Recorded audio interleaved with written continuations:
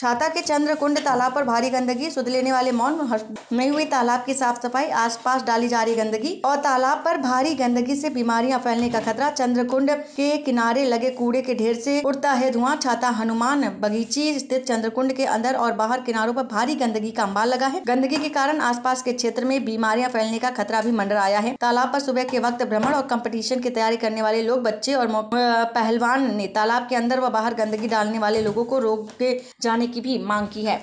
बताएँ क्या नाम है तुम्हारा? मेरा नाम अशोक कुमार जादव कहाँ के रहने वाले? हैं छाता का रहने वाला हूँ। तो बताएँ यहाँ चंद्रकुंड पर खड़े हुए हैं। इसकी दुर्दशा कैसे हुई है? ये बहुत खराब दयनीय स्थिति में हमारे यहाँ पर ये हमारा छाता क्षेत्र में सबसे माना जाना क्षेत्र है। हमारा चंद्रकुंड और उस पर कोई भी सफ़ाई पर ध्यान नहीं दिया जा रहा है और यहाँ पे पहले जैसा था ये ऐसा नहीं है। उस पर कोई भी मतलब वो नहीं किया जा रहा कि इससे किसी की हमारी वो हो सफ़ाई सुथरी हो या पर अच्छा लगे ये घूमने में भी अच्छा लगे। बिल्कुल मतलब ये मान लो कि बिल्कुल गड्ढा बना दिया यहाँ पर कोई मज़े वाली बात नहीं है। यहाँ पर इतनी स्मेल हो चुकी है कि मतलब सुबह सुबह टहलना भी मतलब कोई आता ही नहीं है टहलने अब इतनी बस इस बदू के उससे नहीं इस पर लाइट पर लाइट आती है नहीं कुछ। पता नहीं क्या क्या हो रहा है यहाँ पर मतलब हमारे यहाँ पर रुपया आ तो रहा है पर कुछ रुपया रुक नहीं रहा है यहाँ पर पता नहीं क्या कर रहे हैं रुपया का नहीं। कोई उसमें पहले कैसे था पहले अच्छा था काफ़ी टाइम अच्छा रहा था ये। पहले यहाँ पर लाइट भी अच्छी थी और ये सारे देख रहे हो यहाँ पर घास फूस वगैरह पेड़ वेड़ नहीं थे और पानी भी अच्छा था इसका। अब पानी की क्या पानी की ज़्यादा दुर्दशा कर रखी है इसी में सारा कुछ कचरा वचरा डाल रखा है। कौन डालता है?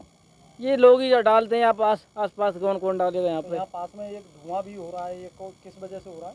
पता नहीं यहाँ पे ये प्रदूषण को जलाते हैं इसलिए होता है यहाँ पे। जला देते हैं? जला देते हैं। कचरा भी डालते हैं? कचरा भी डाल देते हैं सब कुछ जला जलाते हैं यहीं पे। किसी ने कोई परमिशन दे रखा कोई परमिशन नहीं है इसकी बस अपनी मर्ज़ी मर्ज़ी के मालिक हैं सब लोग। डालने की जगह तो नहीं है इतना अच्छा सुंदर स्थान था और आज ये हालत हो रही है ये मना नहीं किया कि यहाँ कचरा नहीं कोई मना नहीं करता यहाँ पे कौन मना करेगा? यहाँ पे सब अपनी तो मस्ती में। आते हैं सुबह सुबह?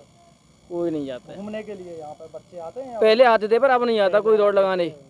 अब कौन आएगा? स्मेल ही नहीं आती तो कौन आएगा फिर? बंद हो गए। अब बंद हो गया। तो क्या चाहते हैं आप लोग? हम चाहते हैं कि इसकी सफ़ाई हो प्रॉपर तरीके से और ये हमारा जो गार्डन है मतलब अच्छा मतलब अच्छा पानी रहे इसका शुद्ध शुद्ध वातावरण रहे इसका मतलब सांस भी अच्छी आई और यहाँ पे ऑक्सीजन आती है ना इतनी स्मेल आती है उसमें से कोई पूछो मत। पहले जैसा चंद्रपुर पहले जैसा चाहिए था मतलब।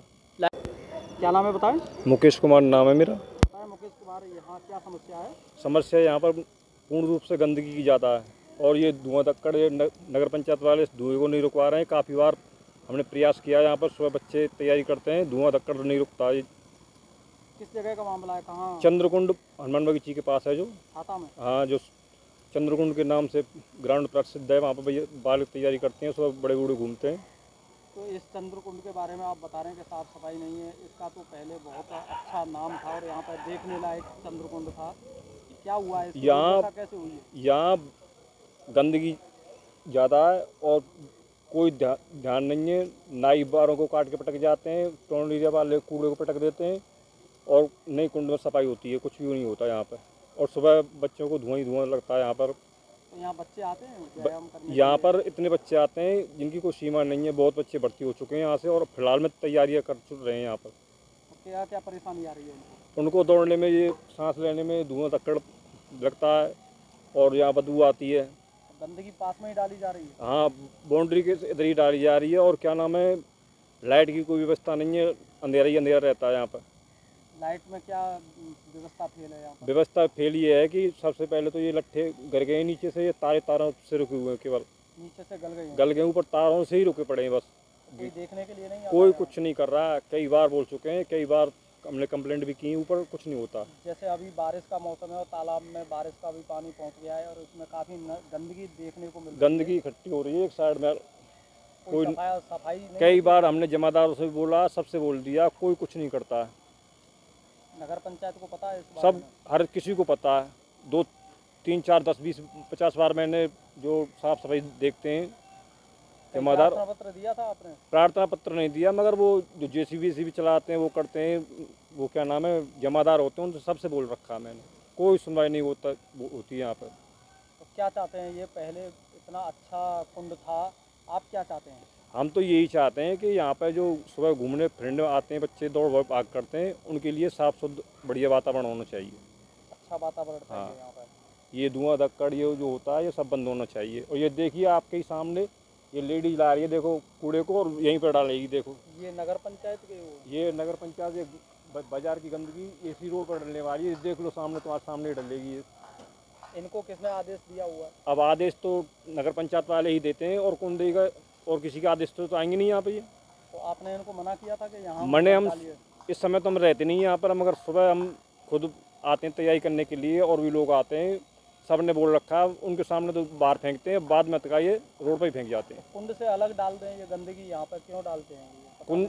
कुंड पे कहाँ डाल वो उधर कहाँ डालें जहाँ जगह बता रखी है रोड पर डाल जाते हैं रोड पर तुमने अभी फ़ोटो खींची है इसके।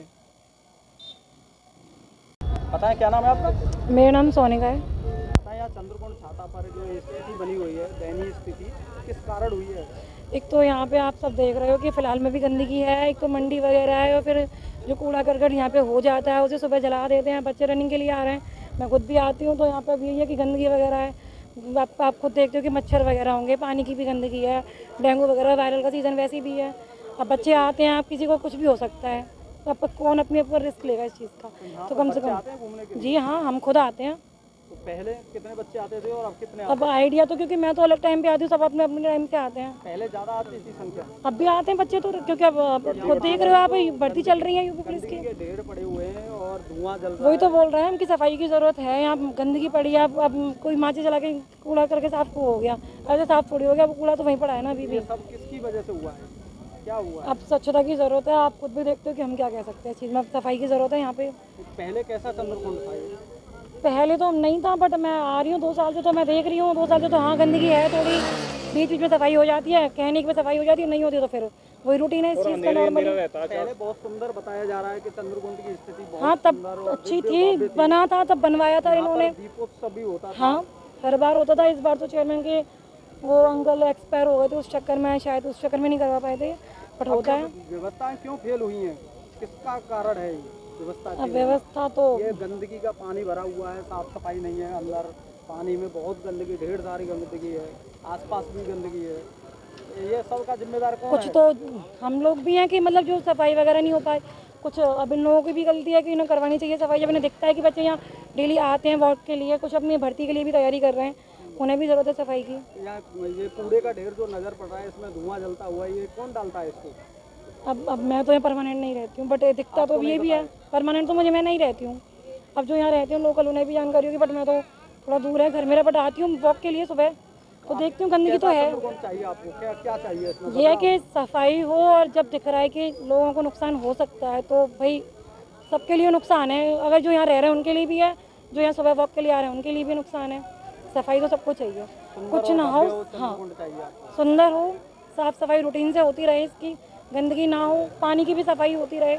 कि अब पानी भी गंदा होगा तब भी वायरल होगा यहाँ से तो डिज़ीज़ बीमारी फैलने का खतरा है। वही हमारी तो सबसे बड़ी प्रॉब्लम तो यही है सबसे बड़ी। सबसे बड़ी प्रॉब्लम है। मेन प्रॉब्लम तो यही है फ़िलहाल सीज़न भी ऐसा ही है इसका वायरल का कि आप इसको देखते हो ये चीज़ें तो।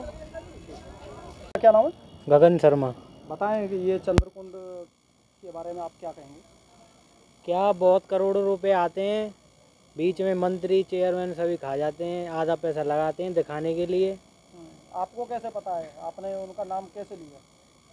पता है? पैसा खा जाते हैं? ये किस प्रकार कह रहे हैं? क्या करोड़ रुपया रुपया आता है? कहाँ है करोड़ रुपए यहाँ पर? आधा पैसा लगा दिया है आधा अपनी जेब में बस। ग्राउंड पे नहीं है कुछ? नहीं है। हकीकत में। हकीकत में नहीं है पानी सड़ रहा है। बारिश का पानी भर जाता है यहाँ पर कचरा फैला देते हैं। कचरा कौन फैला रहा है यहाँ पर? जनता फैलाती है कोई परमिशन नहीं है कोई सिक्योरिटी नहीं है कोई ध्यान नहीं देता है। पॉल्यूशन हो रहा है। तो क्या क्या होना चाहिए क्या व्यवस्था होनी चाहिए यहाँ पर पानी साफ़ होना चाहिए ये जितना भी कचरा है यहाँ से हटना चाहिए। तो ये और ये- साल पहले बना था चंद्रकुंड यहाँ पे कोई पाँच सात आठ साल हो गए। पहले कितना सुंदर था और अब क्या स्थिति है इसकी? बताएँगे पहले क्या पहले स्टार्टिंग में बना था तब सही था। कैसा था? पहले साफ़ पानी था रोड फोड सब नए बने थे तो सही था। तो उसके बाद हाँ पहले बहुत लोग आते थे। अब अब फ़िलहाल? यहाँ पे रेस भी हुई हैं बहुत सारे कंपटीशन भी हुए हैं अब कोई नहीं आता है। कंपटीशन भी हुए थे हाँ जी रेस के लायक बन गया हाँ जी। तो आज क्या स्थिति अब तो रोड भी टूट रहा है कोई बैठने की चेयर थी वो भी सब तोड़ दी यहाँ पे कुछ भी नहीं है अब। कोई आता भी नहीं है सुबह जिम्मेदार कौन है जिम्मेदार सरकार है यहाँ की। सरकार है। मथुरा से अमित शर्मा की रिपोर्ट।